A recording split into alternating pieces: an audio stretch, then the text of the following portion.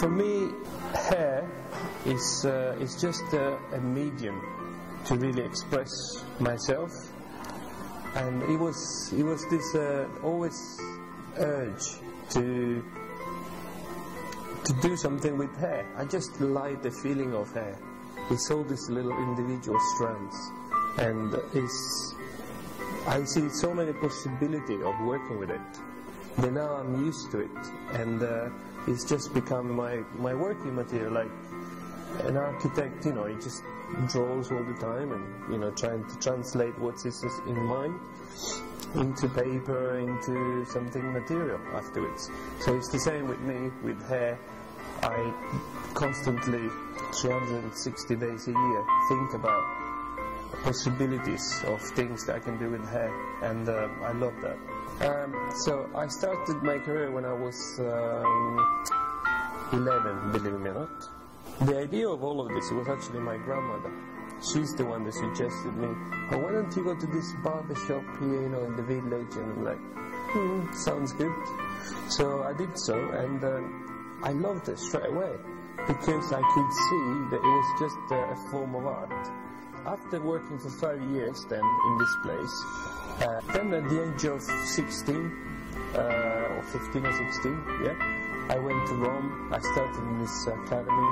Uh, at the age of 23, I moved to London and I went to work for Trevor Sorbie. Yeah. He's been like my dad and my coach, you know, in this profession.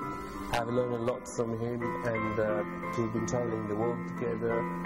We've done amazing things together, and uh, yeah, it's been fantastic since then. I've always had this urge of combining the shapes and the texture with the color.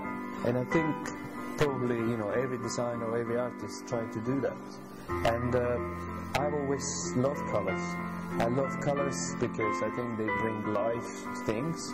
Uh, and I think also I see the possibility of, you know, just doing so much with it. The, the inspirations uh, for me uh, I always say this, it comes mainly from nature. Mother Nature is my, my inspiration. I think the inspiration for me is quite personal and it comes from, from my roots. Uh, me born in the south of Italy, right in the Mediterranean, uh, I grew up in an environment where there was lots of nature all the time. Animal nature, you know, like hills, rivers. Um, so I think really that's where I get my inspiration. My, my most favorite moments in my career are definitely uh, working together with other colleagues, sharing uh, sharing what we were doing. You know, the the awards that won uh, from all the awards that won, the one that satisfied me the most it was uh, being in the Hall of Fame twice.